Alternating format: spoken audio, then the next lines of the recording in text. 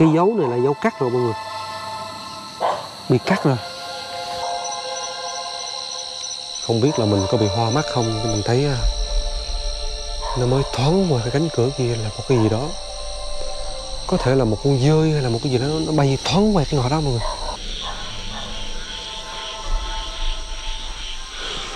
Thật sự thì khi mà mình đi một mình đó nó có một cái cảm giác rất là lạ. Những đồ dùng còn nguyên vẹn.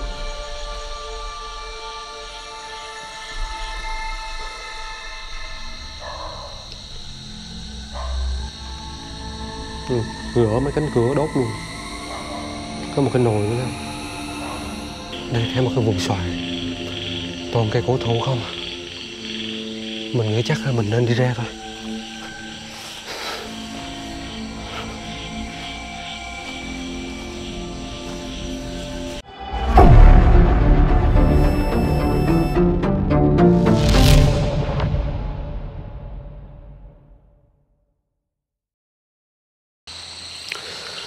Xin chào tất cả mọi người, rất là vui quay trở lại kênh của Nhân. Hiện tại Nhân đang có mặt tại xã Phước Đồng thuộc thành phố Nha Trang, tỉnh Khánh Hòa. Và như lời đã hứa với tất cả mọi người thì tối hôm nay Nhân sẽ trở lại và sẽ đi khám phá bên trong cái căn biệt thự bỏ hoang. À, Mọi người nhìn thấy cái cảnh cây xoài to cổ thụ không? Thì mọi người sẽ nhớ cái nơi đây. Nhưng mà tối hôm nay nó có một cái điểm rất là đặc biệt. Đó là cái sợi dây à, thép bắt ngang qua cái trụ này nó đã bị ai đó có thể là gỡ hoặc là cắt đi. Nhưng mà chỉ trong vài ngày thôi, hai ngày thôi mà ai đó đã đi vô bên trong cái khuôn viên này và cắt cái sợi dây này rồi. Đó là một cái điều rất là lạ luôn. Tại sao lúc trước giờ không mất mà bây giờ nó lại bị? Thì bây giờ không để mọi người chờ lâu nữa, hãy đi khám phá cái căn biệt thự này cùng với nhân để xem thử là ở bên trong đó là có cái điều gì đó về tâm linh hay không? Hay là có một cái nhân vật bí ẩn vô gia cư nào hay không? Thì à, mời mọi người hãy đồng hành cái video này cùng với nhân nhé.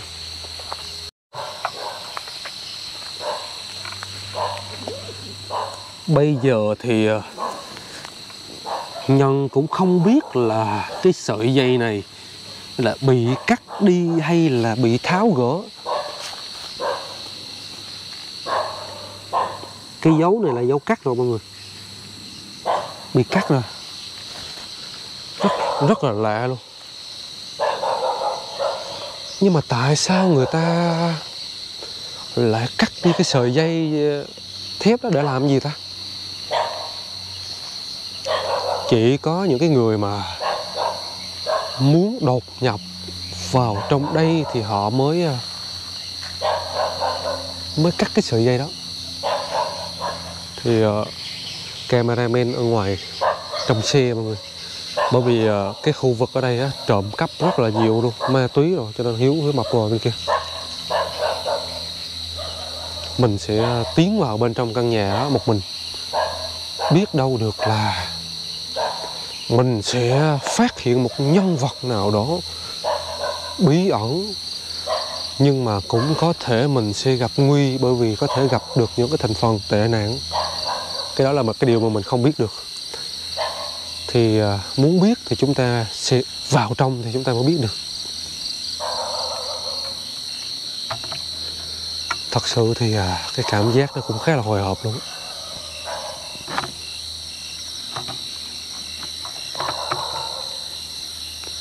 Khi mà ban ngày mình tới mình thấy cái à, mình thấy cái mùng với một cái mền và một cái gối, thì mình nghĩ ngay là có một ai đó đã té túc trong cái căn biệt thự này.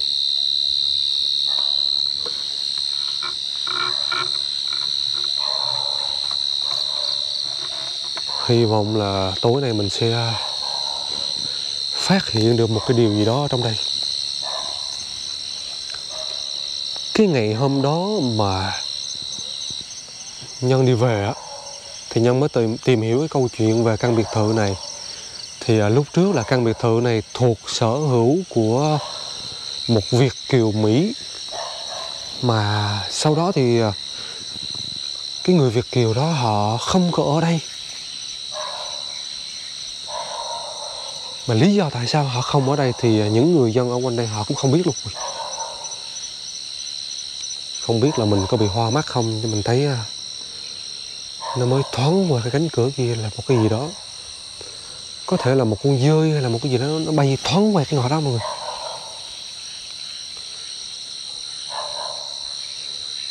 Xem gió này gió nó lùa qua, nó làm lạnh cả sống lưng. Một màu đen thui. Ok, đi thôi, tiếp tục.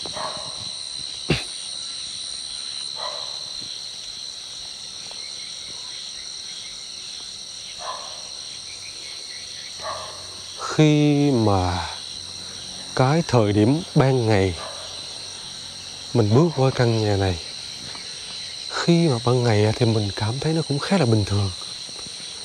Nhưng mà cái màn đêm mà nó buông xuống mọi người, thật sự mà nói thì một cái cảm giác nó rất là lạnh luôn.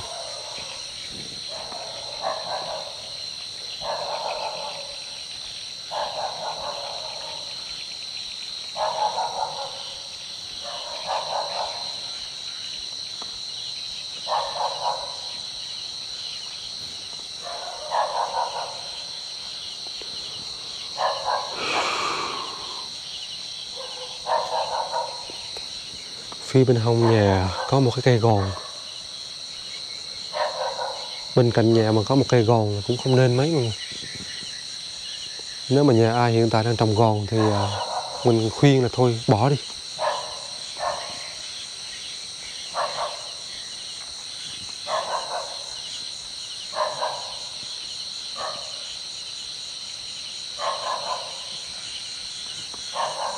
Ui mình thấy uh, cái mùng nó vẫn còn nguyên mọi người. Cái mùng không có được thả xuống. Với một cái giờ mà nó khuya như thế này mà mà cái mùng không được thả xuống thì mình nghĩ là bên trong chắc là không có người rồi. Nhưng mà điều đó thì mình cũng chỉ đoán thôi. Để biết được là bên trong có người hay không thì chỉ có cách là mình tiến vào bên trong thôi.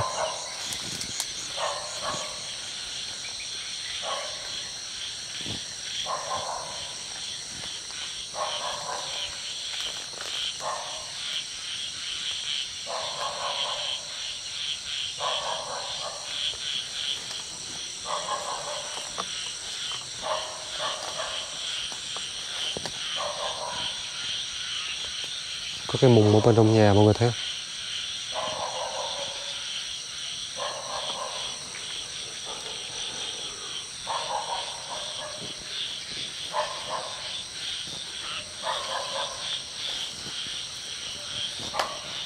Thật sự thì khi mà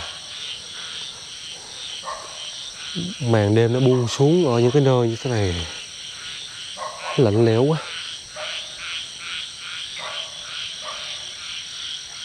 Nếu như mà khu vực ở đây có người thì à, cũng không có đến nỗi nào.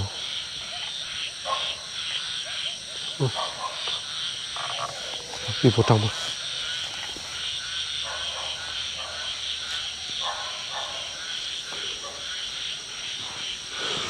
thật sự thì à, khi mà mình đi một mình nó có một cái cảm giác rất là lạ xin lỗi mọi người cái máy của mình à, cái máy của mình nó mới vừa bị lỗi tiếp. Dạo gần đây thì à, cái thiết bị quay của mình đến những cái nơi tâm linh đó, nó rất là dễ bị lỗi.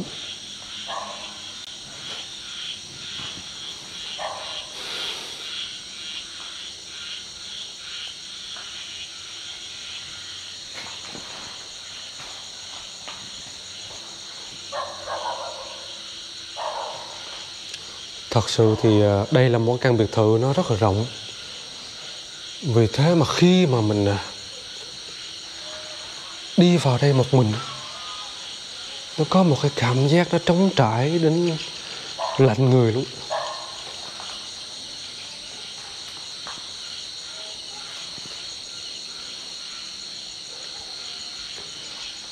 Những đồ dùng còn nguyên vẹn. Không có gì thay đổi luôn.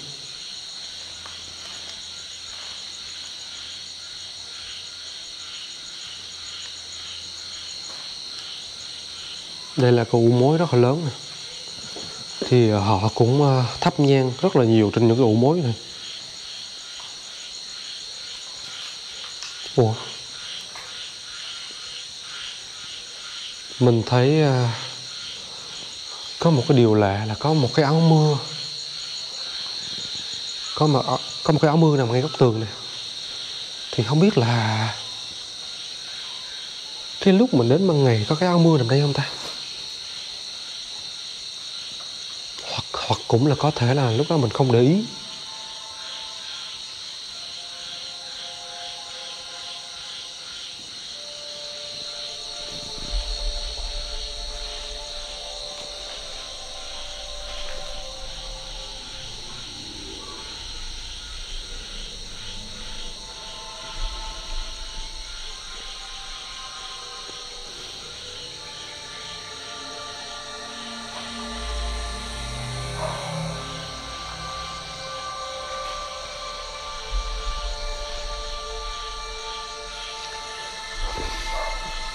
Cái phần mái này, cái phần mái thì được làm với ờ, những cái thanh gỗ rất là xịn luôn, bỏ hoang rất là lâu luôn, mà gỗ nó không mục.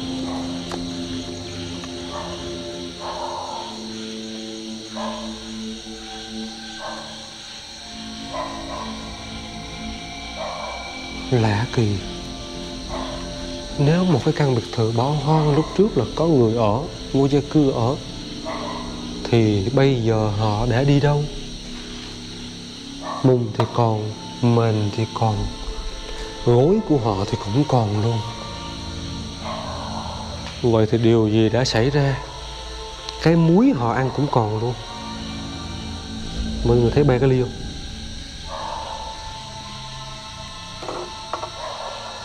Vậy thì những người vô gia cư từng ở trong cái nhà này họ đã đi đâu? Họ đã làm gì? Đó vẫn đang là một điều bí ẩn.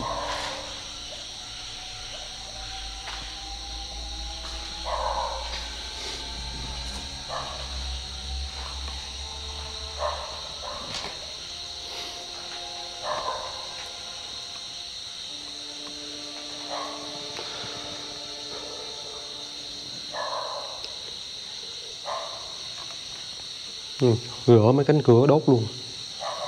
Có một cái nồi nữa không ở đây á, là mình chắc chắn luôn lúc trước là có người đó leo lên đây ở. Bởi vì họ bắt một cái cây thế này này bắt một cái cây và sau đó là họ leo lên trên đó.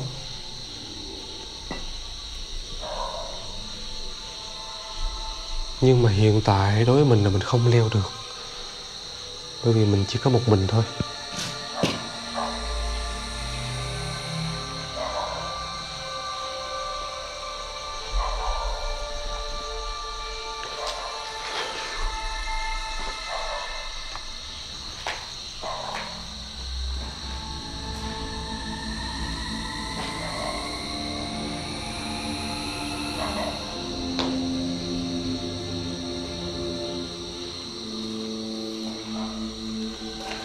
Đây nè. Vật dụng thờ cúng có mặt khắp nơi.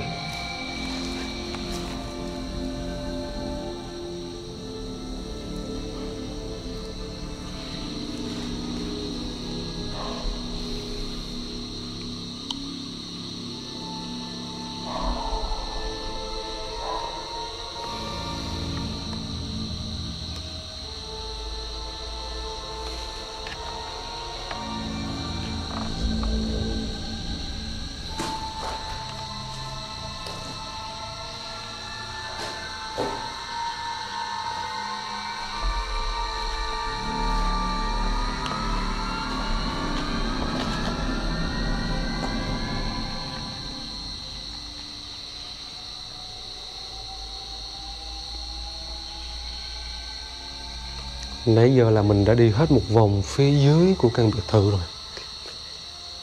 Bây giờ có muốn lên trên cũng không được. Bởi vì à, cái đường mình đi lên trên đó, nó chỉ có một cái cây duy nhất thôi. Mình thì bây giờ không leo được.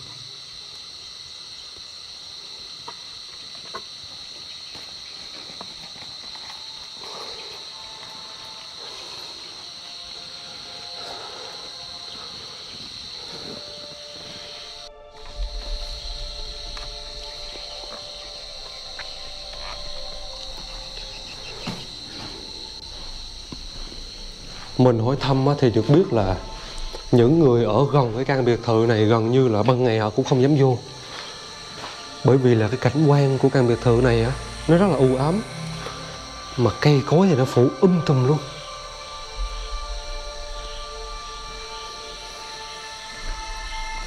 Mọi người xem cái cảnh quan bên ngoài này.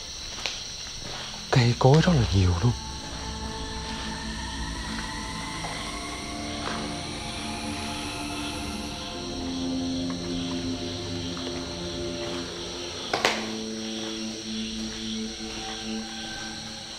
Mình chỉ ước gì là khi mà ban đêm mình vô đây, mình gặp phải một cái người vô gia cư nào đó.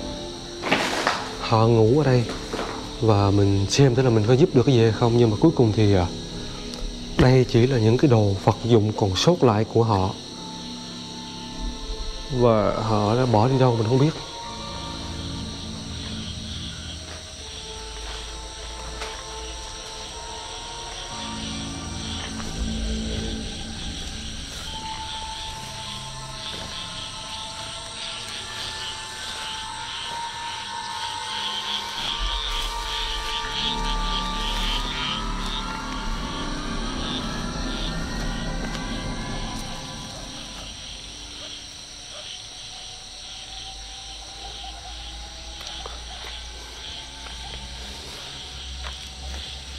Đây là một cây cầu bằng à, bê tông. Và phía bên dưới là nước rất là nhiều luôn.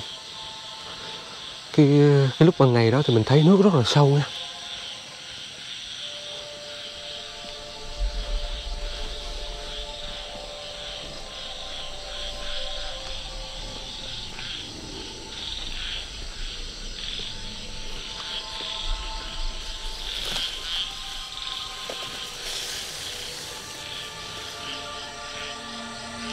Cũng khoảng một thời gian à, lâu lắm rồi, không ai dám viếng mãn vô cái khu này. Cái đó là mình hỏi người dân địa phương ở đây nha. Họ bảo là họ thấy cái cảnh quen ở đây, họ không dám vào.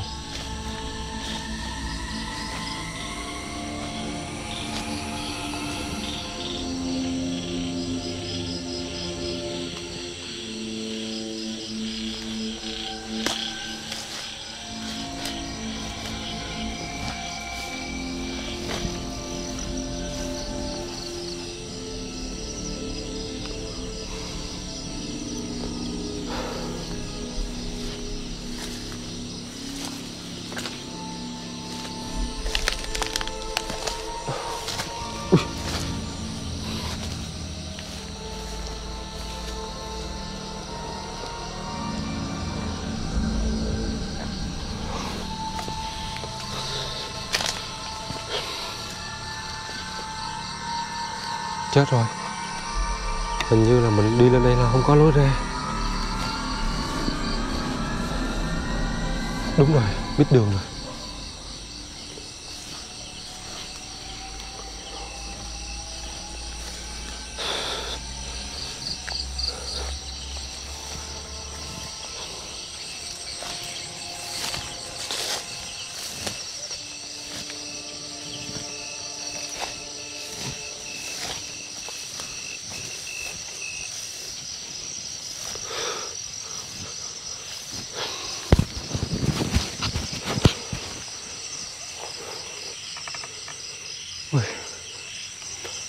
Sao tự nhiên một mình à, lạc lội vô cái đám xoài như thế này? Có nhiều quá.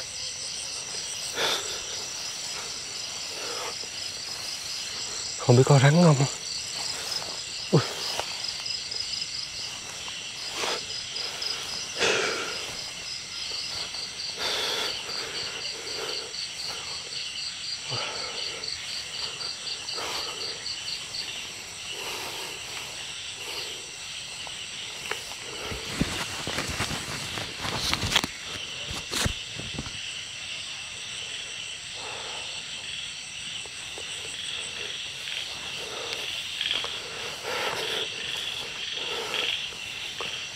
đây thêm một cái vườn xoài. Toàn cây cổ thụ không à. mình nghĩ chắc là mình nên đi ra thôi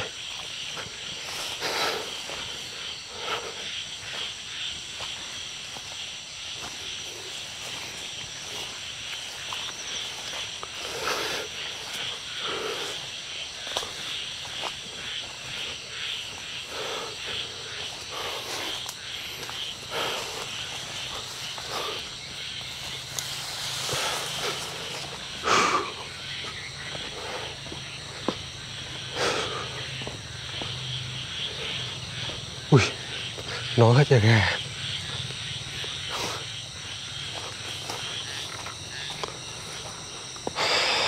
thật sự mà nói thì căn biệt thự này bỏ hoang như này tiếc quá. Một điều rất đáng tiếc.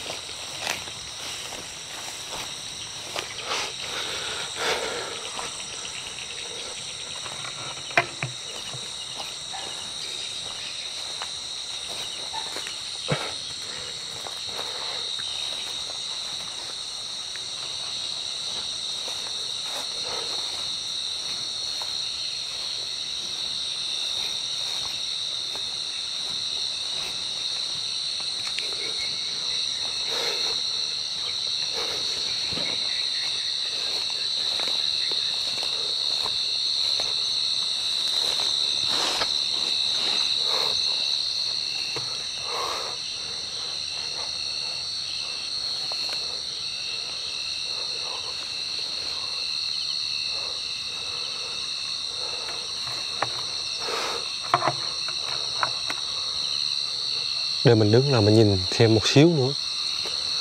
Coi thử là có thấy bóng dáng một cái gì đó ở cái căn nhà này không?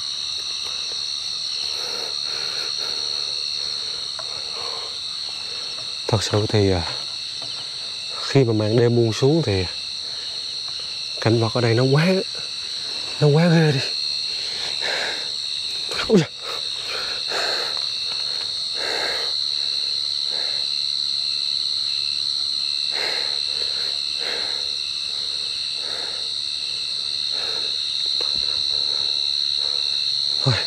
Đi ra thôi mọi người mình đã quá lâu rồi. Mình chỉ cảm giác thôi, không thấy được gì. Cảm giác ở cái là một mình ở một cái nơi ờ, bỏ hoang á. Nó hơi lạnh lạnh thôi, nên tụi mình không không không thấy được ờ, cái gì lạ hết.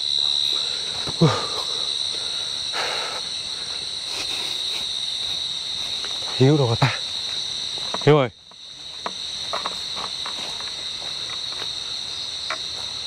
Ủa nãy giờ ở đây hả? Có gì đặc biệt không? Có hút chích xì ke hỏi thăm không? Không à? Hả? Vậy? Ý là không có vô gia cư À, Chết rồi chưa Mình ờ, mình nghĩ là ở đây có vô gia cư Mình tìm mà không có ta Thì đó mọi người cũng thấy rồi ờ, Nhân đi khám phá hết một vòng quanh cái căn biệt thự này mà ờ, Mình thấy cái- những cái đồ dùng vật dụng nó vậy Trong trong đó, đó mình mình nghĩ là sẽ có một người vô gia cư trong đó. Và tối đêm nay mình quay trở lại Cái mục đích của mình là mình ờ, muốn có thể là ờ, sẽ gặp được cái người vô gia cư đó Nhưng mà hôm nay không có. Thì có thể là họ đã đi đâu rồi họ sắp tới họ quay lại nhưng mà có một cái điều lạ là cái sợi dây thép đã bị cắt rồi. Cái điều đó mình thấy rất lạ luôn không hiểu lý do sao còn cái vấn đề tâm linh trong căn, cái căn biệt thự này á thì mình đi vô thì mình có một cái cảm giác nó hơi là lạ thôi nó cũng không có gì đặc biệt cả. Nó không mạnh như những ở nơi khác. Ờ, vì vậy mà đây chỉ mang tính chất là khám phá thôi. Mình mong muốn là đi gặp một người vô gia cư mà không có. Thì thôi thì đây là một cái trải nghiệm khám phá mà về một căn biệt thự vào ban đêm. Coi như đó là một cái trải nghiệm. Ờ, và bây giờ thì kết thúc video nha mọi người. Nếu mà xem á, thì đừng quên để lại một like và một đăng ký để theo dõi những clip mới của nhân thì sắp tới thì nhân sẽ còn đi khám phá rất là nhiều địa điểm tâm linh nó rùng rợn hơn như thế này nữa. Cho mọi người xem, còn bây giờ thì xin chào và hẹn gặp lại.